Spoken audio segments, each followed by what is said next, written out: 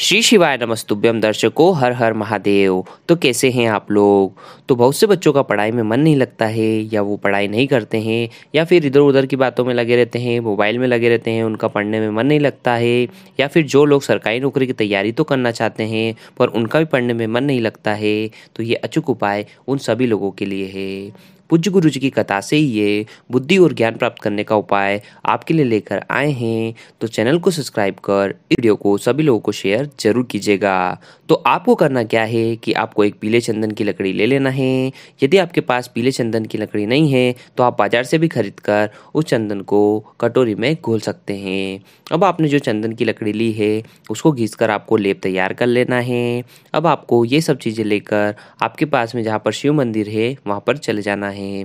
वैसे तो ये उपाय आप सुबह से शाम में कभी भी कर सकते हैं, लेकिन दोपहर का समय अगर रहे तो उचित रहेगा। अब आपको क्या करना है कि श्री शिवाय नमस्तुभ्यम बोलकर जो आपने लेप तैयार किया है, वो आपको शिवलिंग के ऊपर चढ़ा देना है। दो से तीन मिनट आपको वहीं पे ध्यान करके जो आपने चंदन का लेप तैयार किया है, उसे आपको उतार कर वापस कटोरी में ले लेना है। क्या करना है कि जिस भी व्यक्ति को पढ़ने में दिक्कत आती है या जो पढ़ना तो चाहता है पर उनका मन नहीं लगता है, मन इधर उधर भागता है तो आपको क्या करना है कि जो आप चंदन लेकर आए हैं, उसकी एक बिंदी आपको उनके मस्तिष्क पर मतलब माथे के ऊपर लगा देना है।